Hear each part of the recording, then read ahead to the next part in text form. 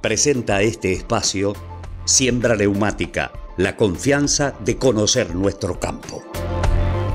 Las condiciones para la República Argentina se presentarán con tiempo húmedo e inestables, con algunas tormentas y chaparrones, comenzando el mes de noviembre, como así también eh, en la primera quincena, viento del sector noreste con ráfagas entre 20 y 40 kilómetros por hora y poco cambio de temperaturas, con máxima que van a estar rondando entre los 32 y los 37 grados centígrados.